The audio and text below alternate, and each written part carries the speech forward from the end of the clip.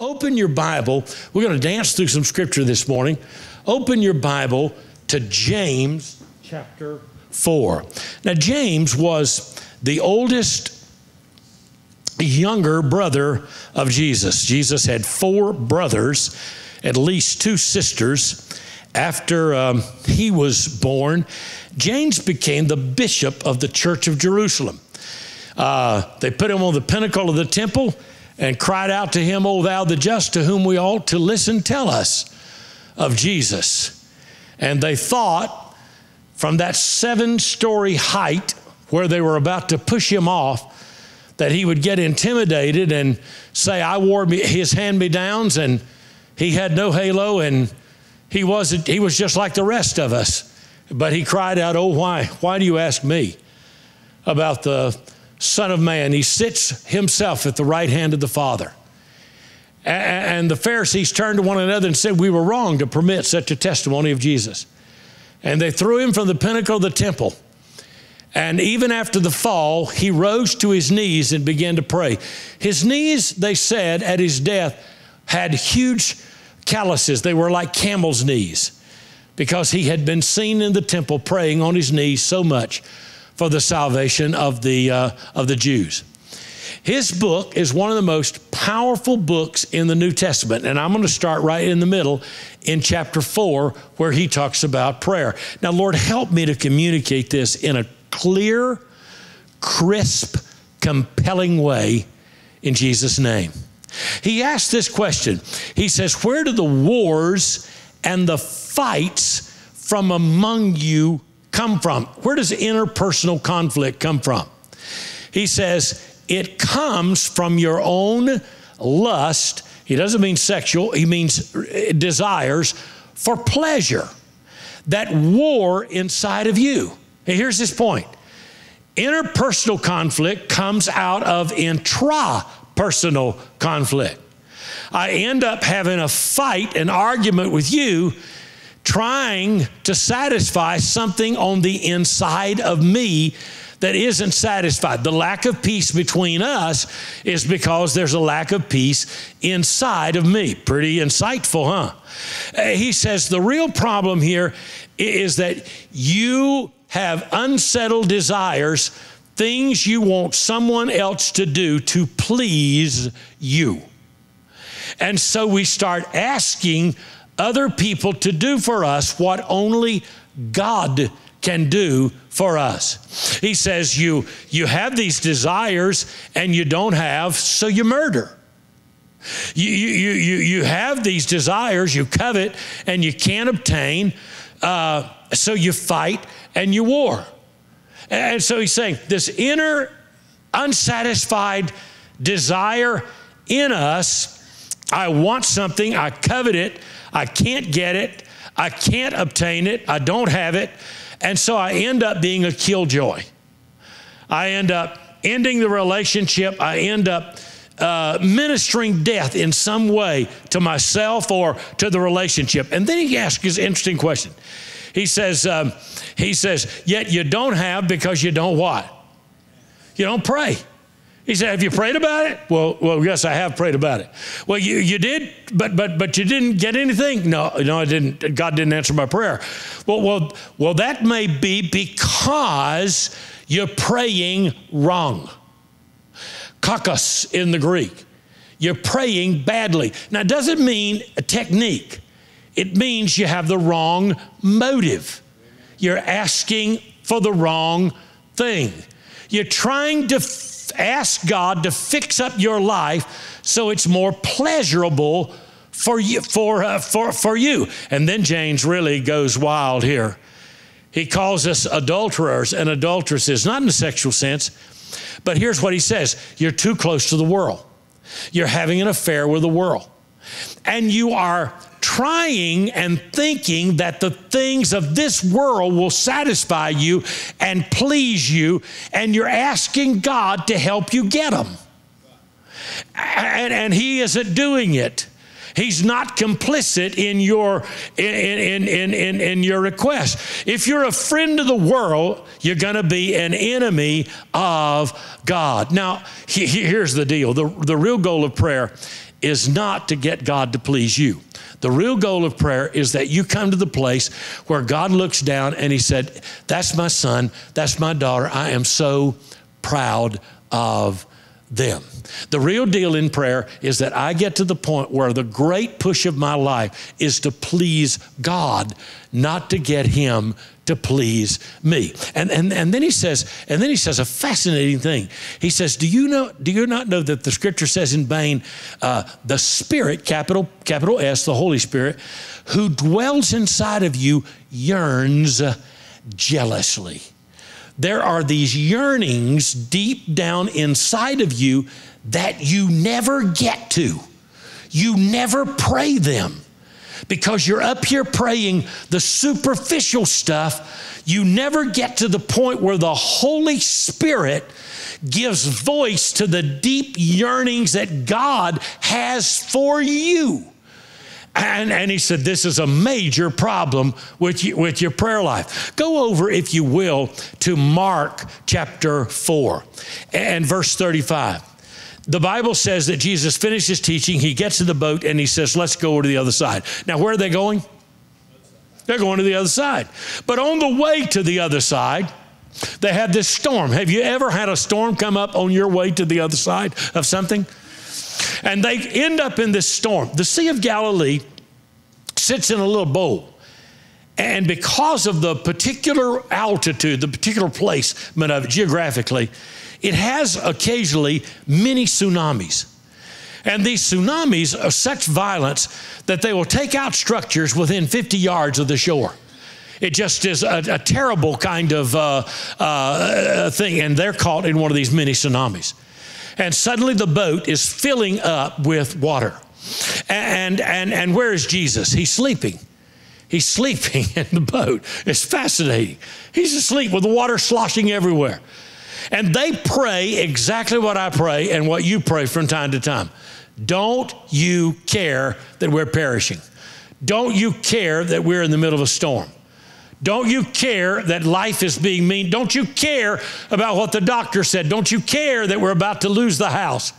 Don't you care that the factory just closed? What's wrong with you, God, that you don't care about us? Jesus wakes up.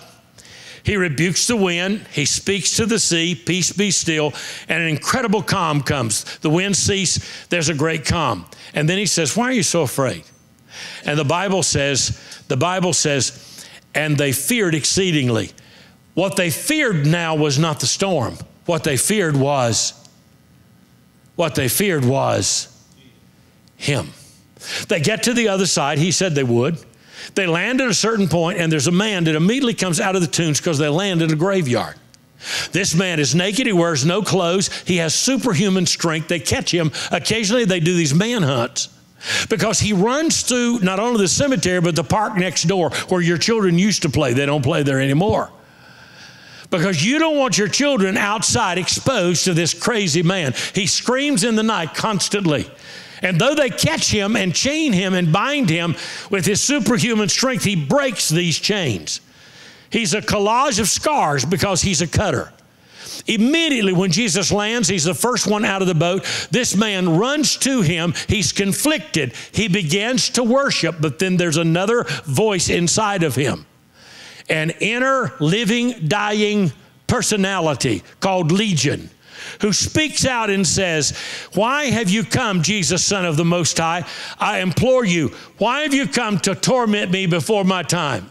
And the Bible said that Jesus speaks to Legion and says, Come out of the man. And, uh, and then the demonic host called Legion asks that they not be sent out of the country. They go into a herd of swine, and the swine run headlong into the sea, preferring to die rather than have living inside of themselves what was living inside the man. It's really interesting what we tolerate as fallen, as fallen humans. The Bible says the whole city comes out and they, when they saw what had happened and they saw the man sitting in his right mind clothed, uh, they were what? They were afraid. They were afraid of, they were afraid of Jesus. I want to go to one more passage and uh, and, and I'll show you this passage, and I'll work through this a little different way. Look at verse 16 of Second Corinthians chapter 4. Here's what the Bible says We don't lose heart, even though the outer man is perishing. What's the outer man doing? He's dying. There is no healing evangelist that specializes in wrinkles. Bald hair, fallen jowls, or aging bodies. It doesn't happen. The outer man is, it's dying, perishing. And, and, and, you can't, and you can't stop it. But there's another process. These are two simultaneous processes. One is automatic and it's unstoppable. The other has to be nurtured, cultivated. The inner man is being what? Renewed. How? Not week by week at church, but day by day. One process is automatic, the outer man is dying. The other process you have to work on. You have to cultivate the growing of the inner man. Well, well, well how, how, do you, how do you do that? Well, the light affliction, that's the outer man stuff, this is just a moment. But you can work it in such a way that it works a far more exceeding and eternal weight of glory. And, and so here's the deal you either focus on the light affliction that becomes heavier and heavier and heavier until you can't focus, function in life, or you work on the inner man and you develop a heavier and heavier weight of God's glory on your life. Interesting idea, isn't it? But that only comes by cultivating, paying attention to the inner man. Well, how do you do that? He says, well, you have to look not at the things that are seen, that's the outer man, but you have to look at the things that are not seen. That's kind of like an optical illusion. You can't see the things that are so visible. You have to be able to see the things that are not not visible. The spiritual, the intangible. You know, uh, it's such a it's such a, a, a, difficult thing to get old. Inside every old person's uh, is is a, is a is a young person saying, "What just happened?" Uh, and life goes so life goes so uh, so quickly. I went to my doctor and, and, and I told him I got this problem and I got this problem and I got this problem. And I asked him if they're related, and he said he didn't know. And he gave me a green pill, blue pill, and a pink pill. And I said, I said, are, are these related, or is this going to help me? He said, I don't know. Just try for a while and come back and see me.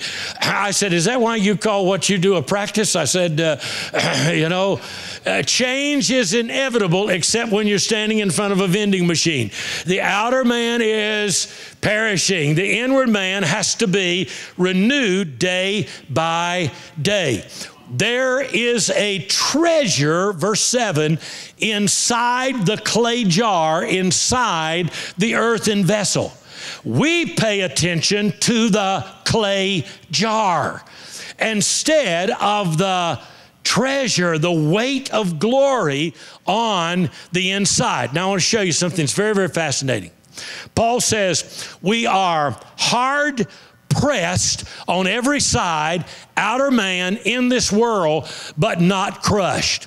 He says, We are perplexed, but we are not in despair. He says, We are persecuted, but we're not alone.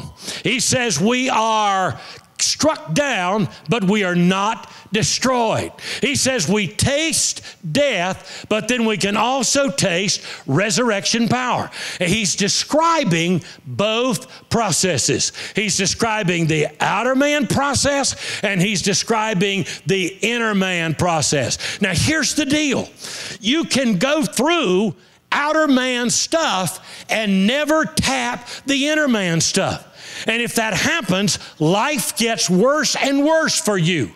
You feel the issue of being hard pressed on every side. And then you are perplexed. You don't know what in the world you're going to do.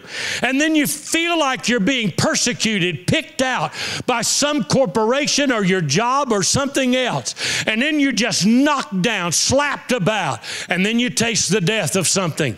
But if you pray, if you spend time focusing on what you can't see, if you look beyond, if you ask God, what are you doing? If you believe His hand is in your life, then what happens is another dynamic starts being loosed in your life. Even though you're hard pressed, you realize you're not crushed. You still got wiggle room. hey, I, am okay. Even though you realize you're perplexed, you don't know what you're going to do. So the company's closing. That affected your 401k. So this is going to happen and that's going to happen. And, and, and you never expected your child to come home and tell you and tell you this. But all of a sudden you realize that even though you're perplexed, you're not in despair.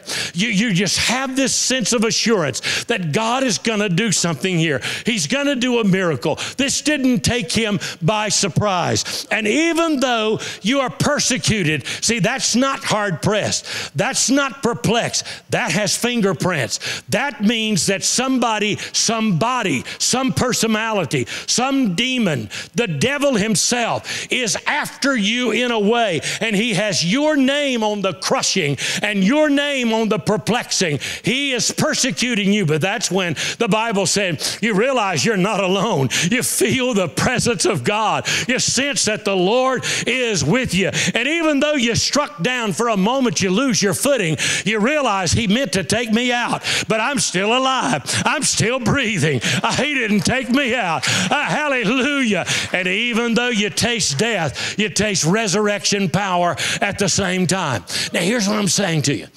Here's what I'm saying to you. If all all you're praying is outer man stuff and it's never inner man stuff. You never wake up this inner vitality. You never wake up this inner dynamic. You never develop this inner strength. You never see the weightier, weightier dimension of the glory of God. See, God did not intend for you to carry the burdens of this world. That's why He allows you to do this thing called prayer request. It's really an exchange. He says, What I want you to carry is my glory. What I want you to carry is my joy. What I want you to carry is my peace. I never created you. You are not made to bear the anxieties of this world. So here's what you do you take all the outer stuff and you give it to Him. And you say, This is your problem. I'm serving you. I'm dead, really. I've been crucified with Christ. You're living in my body. So if you want a roof over your head, you better, you better find one quick for me. I'm going to trust you. What I'm worried about over here is carrying your glory in a way that despite all the outer stuff that's happening to me, people see a smile on my face, hear a song from my lips, and recognize the joy of the Lord in my life. Two different things outer storm, inner storm. Most of our praying is shallow, God fix it. Most of our praying is, I want you to make my life happier and easier. See, the thesis of the disciples was this if you'll make the outer storm go away, then the inner storm will go away. They were wrong. They were wrong. The second story is not about a storm like the first the disciples were in. You see, the, the problem was the outer storm got on the inside of the disciples. That was the problem. In the second story, you see a man with a storm who, that is inside of him that got on the outside. We, we keep thinking if God will make our life peaceful and all the storms will go away, then we'll have peace inside of us. But what God wants is a people who have such a peace inside of them that they can go to sleep in the middle of a storm and they'll know everything is going to be all right. We've developed a kind of soft Christians in America. Not, not your church, but the one right down the road here. Let me give you two names Viktor Frankl and Abraham Maslow. Abraham Maslow, Abraham Maslow has a, had a theory called the hierarchy of needs, almost simplified. But here was his theory. If you fix all the felt, measurable needs of mankind. You give them a place to stay, you make them safe, you give them something to eat. Oh, and by the way, you give them sex too, apart from marriage. If you fix all the outer needs of man, then, then he can deal with the inner man self esteem, relationships. But he says you can't really focus on those if you don't know if your belly is hungry and, and, and those kind of things. Fix all the outer needs, fix the inner needs, psychosocial. Then he said you'll self actualize. Now, of course, if you can self actualize, you don't need God. Hello? Abraham Maslow's sociology, Abraham Maslow's psychology became the theology of America in the 1960s. It drives our policies. It is really our theology. Fix all the outer stuff, then you'll have people with inner peace, and then people will self actualize. Here's another guy. His name is Viktor Frankl. He's a Jewish psychiatrist. He ends up in a Nazi concentration camp.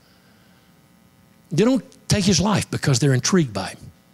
He watches these men, the ones that run for the wire, the ones that hope to get mercilessly not shot, uh, the ones that the ones that the ones that hope to get mercilessly merc- mercifully shot before they, before they reach the wire.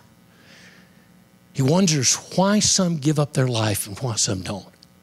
And, and, and, and, and he discovers that the difference between those that survive and the difference between those that live and survive having everything taken from them, including their name, when they're reduced to a number, is not the strength of their soup,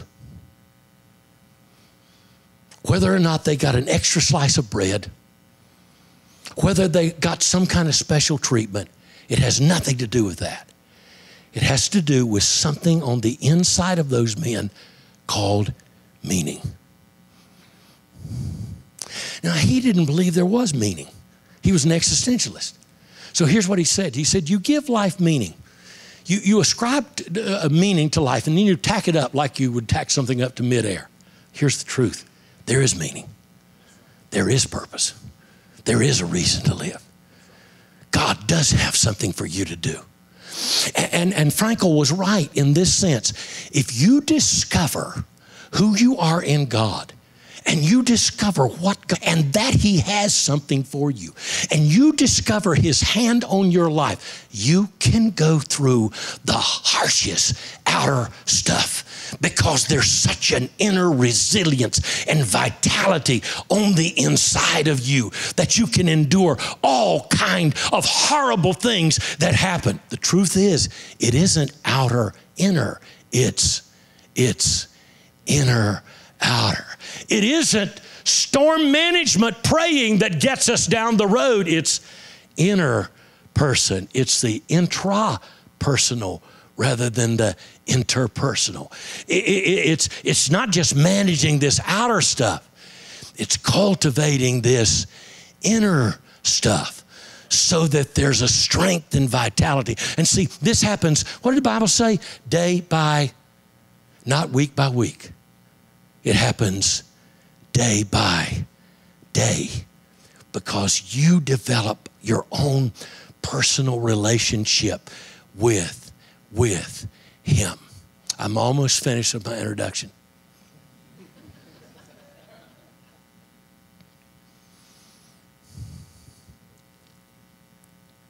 Do you know the two movies that have, uh, at least by some standards, grossed more than any others?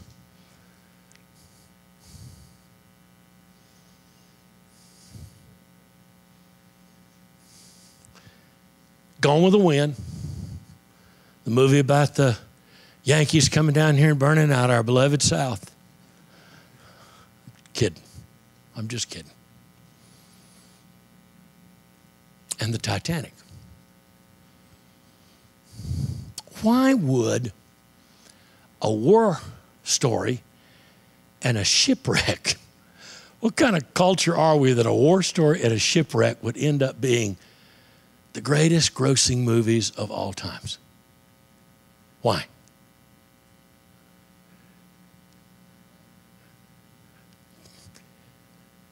underneath the shipwreck and the war story is about how love survives it all. You see, see, you're, you're on a planet that the Bible says itself will burn at some point. You're on a ship that's going down, and you're on a planet where there's war going on now more than any other time. How do you survive in a world like we live in? You got to be in love. And see, prayer, we've made prayer a kind of duty. We've made prayer a hard thing. We made prayer a torturous thing. But when you begin to understand that prayer is the intimate time with you have with God, where you let Him love you and you love Him, everything in your prayer life changes. Everything in your prayer life changes. When, when, when, when you really realize that every morning I shut my closet door and I get alone with God and I love Him and let Him love me, everything in my life begins to change. Because I start looking not at the things that are seen, but the things that are not seen. I start cultivating not the outer man, but the but the inner man. I start pulling up the strength of this inner dynamic deep inside of me. I, I mentioned uh, David Wilkerson yesterday at the School of Prayer. I mentioned him because, because of what God did in his life. He came in one Sunday night after preaching and, and he said to his wife, he sat in and watched the television. He said to his wife, Gwen, the next day, that the Holy Spirit whispered to him that if he would spend time in prayer that he spent watching television, there's no telling what God could do for him. Now, I don't like that idea at all. How about you?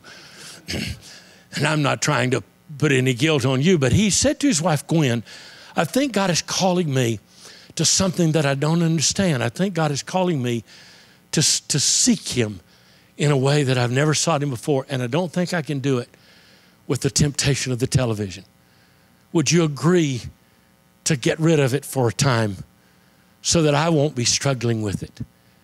And she, she was reluctant to do that. She said, I'll tell you what, I'll make a deal. You put an ad in the paper, and uh, if it sells within an hour, we'll, we'll, both believe it was God. It, was, it wasn't going to sell within an hour. Tuesday morning, the ad went in the paper. 20 minutes after the paper's on the street, the telephone rang. 55 minutes after the uh, ad, after the paper was out, the person was standing on the front door and carrying out the television out of their house. Within an hour, it was, uh, it was gone. Two weeks later, David Wilkerson is all alone. His wife, Gwen, and the kids are away with, uh, visiting with her parents. And when he would have been walking, watching television, he was walking the floor praying, walking the floor praying, walking the floor praying. There was a Life magazine there, and he opened it up. There'd been a television, what would you have done? He would have probably turned it on. He opened it up. Double page picture, artist drawing of seven kids named the Dragons. They had knifed a 15 year old by the name of Michael Farmer, a polio victim. They had each taken turns in stabbing him and then running the blood through their own hair. They were on trial in New York that Friday. He knew immediately he had to go to New York City, a place he had never gone before. He drove over there on Thursday, stayed in a hotel room. On Friday morning, he was in the courtroom when the dragons were being tried. He violated the bar trying to get to them, almost got himself arrested. I don't know if he ever had contact with them or not. But here's what happened six months to a year later, he was in New York. He'd rented a broken down apartment, threw a mattress on the floor, was walking the streets, and he was looking for kids like the seven dragons. I was preaching in Guayaquil, Ecuador. I told this story, and a man came to me and he said, I was a 12 year old usher. The day that, Nick, that Nicky Cruz and the Mau Mau's and all the gangs of New York were challenged by David Wilkerson to come to the same auditorium.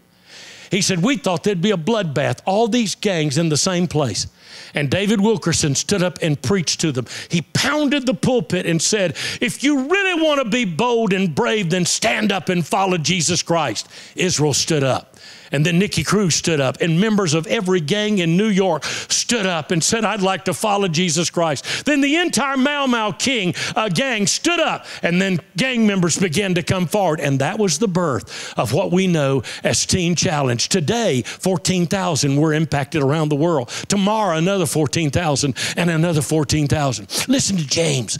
The whole, do you not know that the Holy Spirit inside of you jealously yearns? You see, because we pray the storm management praying, because we pray the superficial praying, because all we do is pray about the things that we can see that are affecting our life, we never get to really praying this deeper stuff. Do you not know that the Holy Spirit who dwells inside of you jealously yearns? Do you not know that He has desires for you? Do you not know that He has longings for you? Do you not know he has a plan for you? Do you not know that He has a meaning and a purpose for your life that you've never even dreamed was possible? And like David Wilkerson, you're more likely to back into it.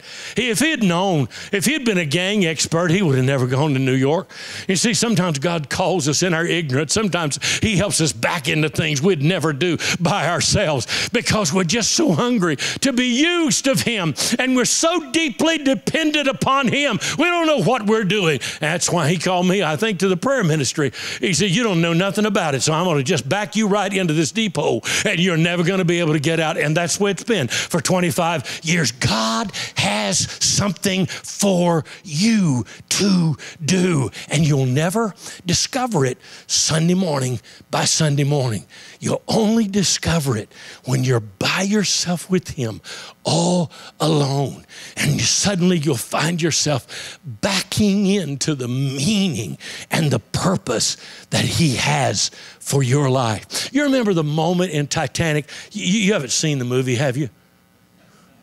I mean, you are a holiness church. You don't go to movies, right? Uh, uh, you ever seen the moment when Kate Winslow is sitting on the upper deck with the linen and the fine china and the silverware, and uh, and and and the, her beau is next to her, and her mother, they're dead poor, and her mother wants to use her to marry into wealth so they'll keep their status. And her beau really doesn't love her at all. And she's trapped into this choice for life. And she realizes her life's just to be one long line of meaningless parties, and banter. So she goes to the prow of the ship and she climbs over and she's about to jump in. And then the character played by Leonardo DiCaprio, lying on the bench, sits up, gets up. I wouldn't do that if I were you. That water so cold it'd be like a thousand knives sticking into you. And then he starts taking off his coat. He starts taking off his shoes. Well, what are you doing? Well, if you're going to jump in, then I'm going to have to jump in after you. This is the gospel. That's what he did.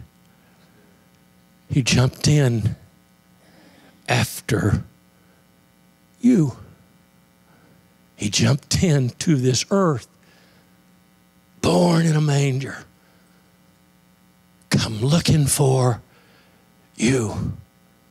There's a moment in which Kate is on the lifeboat and they're lowering it, and, and she sees him and she jumps off.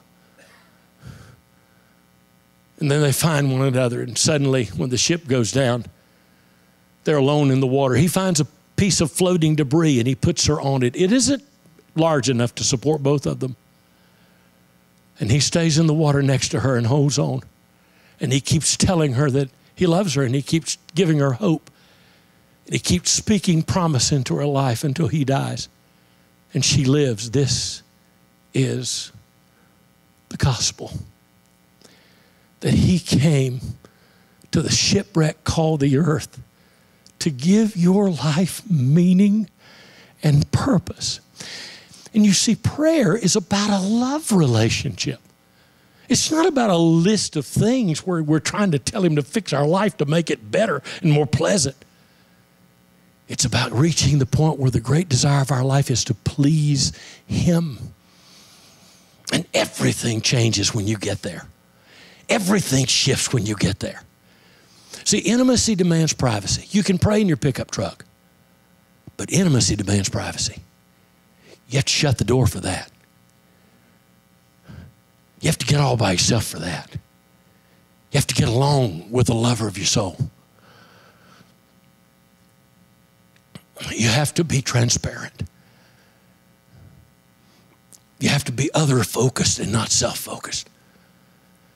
And when that kind of love happens to your life, that kind of experience happens to your life, something dead inside of you starts waking up.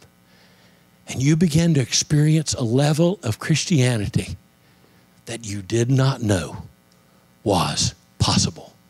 Would you stand?